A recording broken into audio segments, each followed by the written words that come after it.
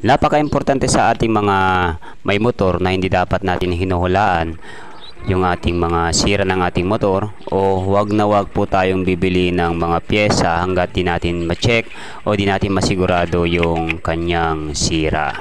Katulad dito lumubo yung kanyang gastos o imbes na makatipid ay lalong lumubo yung kanyang gastos. At dahil hindi pa rin niya mapaandar, nagdesisyon na siya na ipagawa sa atin.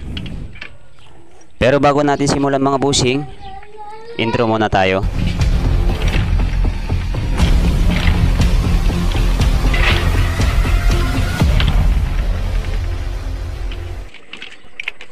Nagpalit na siya ng ignition coil at saka CDI bago na yung kanyang CDI pero hindi pa rin niya mapaandar. Ayaw umandar mga busing. Pag ganito yung naka-encounter natin sa ating mga motor,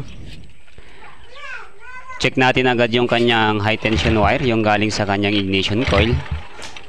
Para malaman natin kung ano ang dahilan, yung spark plug ba o yung kanyang kuryente.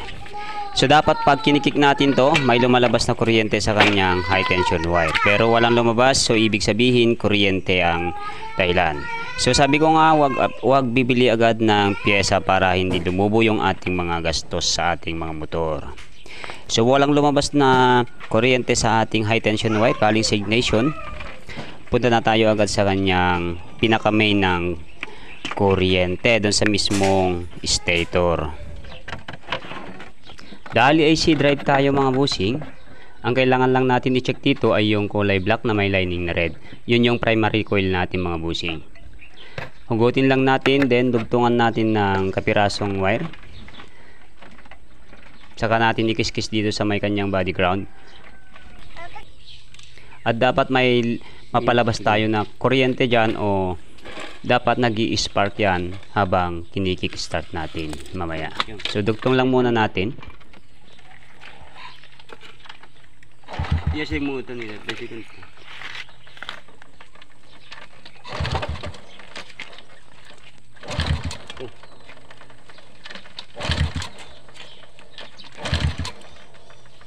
Paalala ko lang mga busing, iwasan yung mahawakan yung kanyang wire habang kinikik-start natin at baka makuryente kayo kung may kuryente yung lumabas.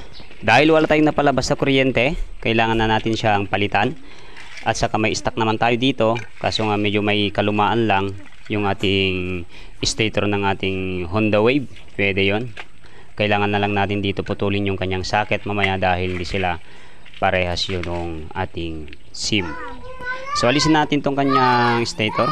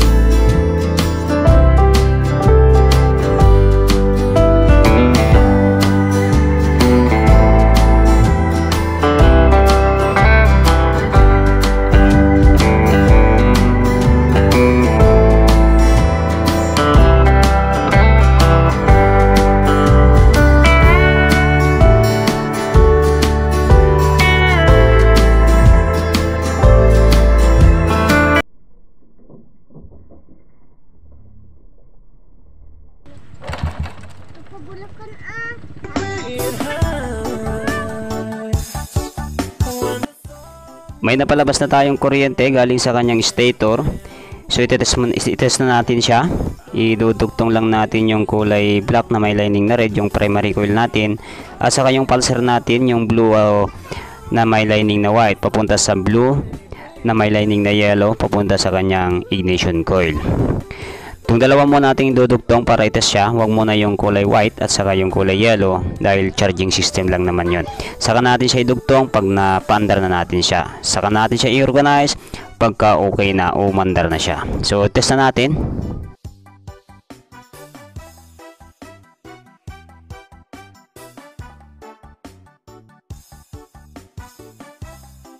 Yun.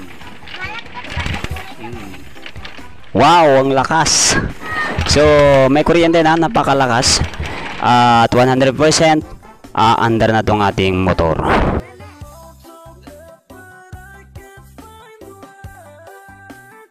Eh, susundan natin sana yung CDI pero may kuryente na siya. So, tapos na yung ating troubleshooting. So, paanda rin na natin sigurado nga under na ito mga boss. Ah, yun.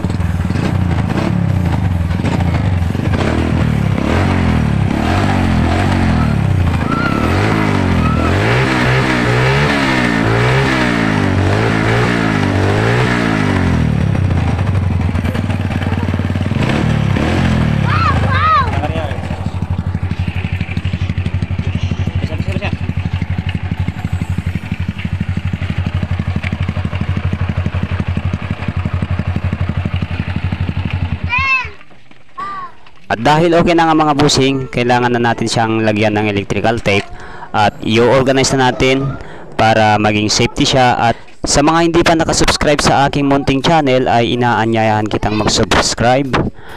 At pag-click na, yung, na rin yung kanyang notification bell at yung light. Isang maraming pasasalamat naman sa isang sa inyong lahat na, na nanood at sana may naitulong naman ako kahit paano, kahit kaunti may nidagdag ako sa inyong mga kalaman. So maraming salamat and salamat sa panonood at God bless sa inyong lahat.